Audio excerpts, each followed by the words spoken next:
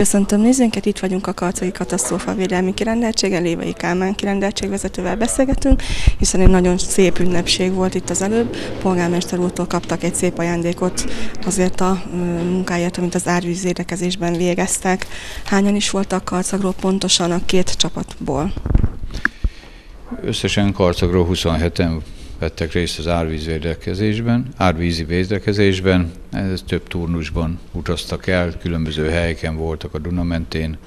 és hát voltak egy hétig, volt oda, volt, aki öt napig különböző időtartamban, és hát különböző beosztásokban volt, aki éjjel-nappal, volt, aki éjjel, volt, aki nappal, kinek mi jutott. Hát szerencsére mindenki hazajött szerencsésen, és ön akkor úgy búcsúztatta őket, hogy lesz egy hazaváró vacsora is, akkor arról beszéltünk, úgy tudom, itt az előbb beszéltünk, hogy ez megvolt, tehát ezzel is ön megköszönte a csapatnak a kitartó munkát.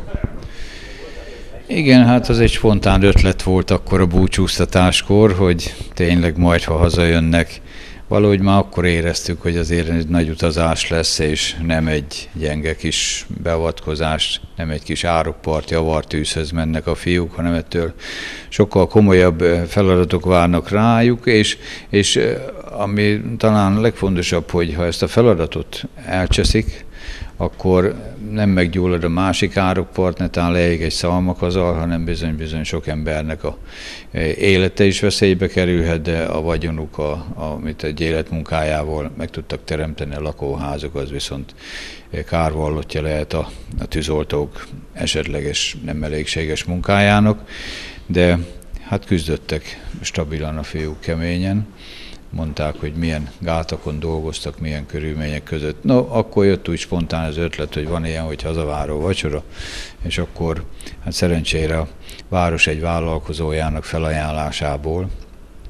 ez meg is teremtődött, úgyhogy az érkezés után, amikor már mindenki nagyjából kipihente magát, egy szép vasárnapi napon egy birka ebédet kaphattak, hát ha nem is e, vacsora volt, de ebéd, meg nem pont akkor, hisz több részletbe érkeztek haza, jószerével négy turnusba jöttek haza, különböző időpontokban volt, aki e, napközben volt, aki este volt, aki meg éjszaka érkezett haza, de mindenki éppen egészségesen itthon van, és itthon látja el most már a feladatát, vagy éppen a nyári szabadságát tölti.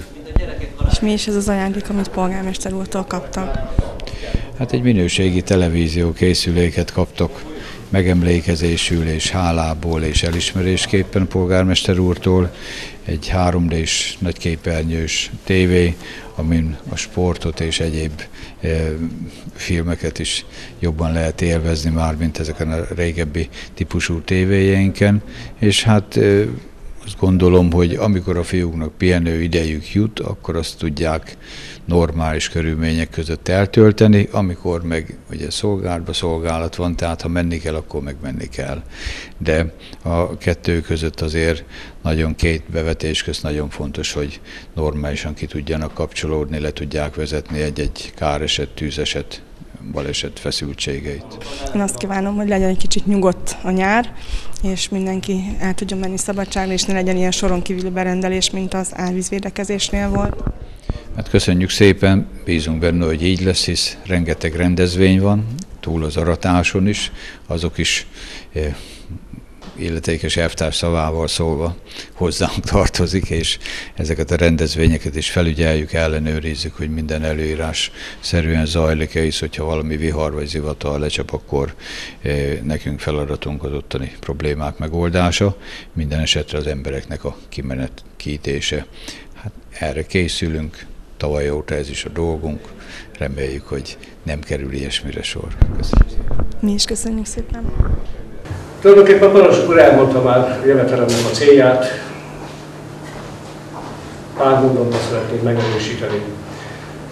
Hát minden idők legnagyobb Dunai árvizét élte meg az ország és a környező országok a hatalmas csapadék apropóján, és azt kell mondanom, hogy mindenki, aki a gáton dolgozott,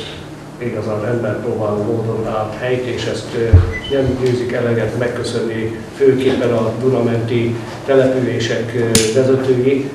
de úgy egyáltalán mindenki, aki elismeri azt, hogy egy ilyen helyzetben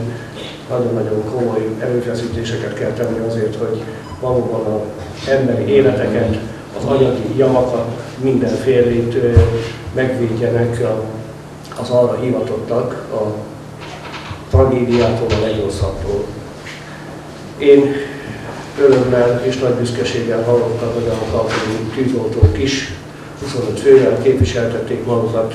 három helyszínen, Győrű, Balát környékén, Solton és Baján, aztán ahogy idő haladt a árvonal lefelé, és abban is biztos vagyok, hogy kiválóan megállták a helyüket. Sport nyelven azt kell, hogy mondjam, hogy ezt várja önöktől a szakvezetés, hiszen egy karcaginak, egy kunnak mindenképpen az a dolga, hogy adott esetben segítse a bajba jutottakat, és megfelelő módon tegye ezt. Valóban az önkormányzat úgy gondolta, hogy ezt nagyon szerény kis ajándékkal mindenképpen meg kell, hogy köszönjük, és el kell, hogy ismerjük ezt a munkát, és akkor egyeztetve a vezetőséggel azt a hírt kaptam, hogy egy nagyobb televízióra lenne szükség itt, a szabadidő hasznos eltöltése kapcsán, és az önkormányzat örömmel ajándékozza meg a csapatot ezzel a televízióval. Kérem, hogy fogadják ezt el, és fogadják köszönetemet és köszönetünket a elvégzett munkáért. És ha bármikor bármi ilyenre sor kerül, hasonló módon képviseljék településünket. Köszönöm még egyszer, használják egészséggel ezt a szerkezetet, ezt a televíziót. Természetesen ne kerüljön ilyen természeti katasztrófákra sűrű sor, és ne csak ilyenkor tudja az önkormányzat bármit adni, mert azt én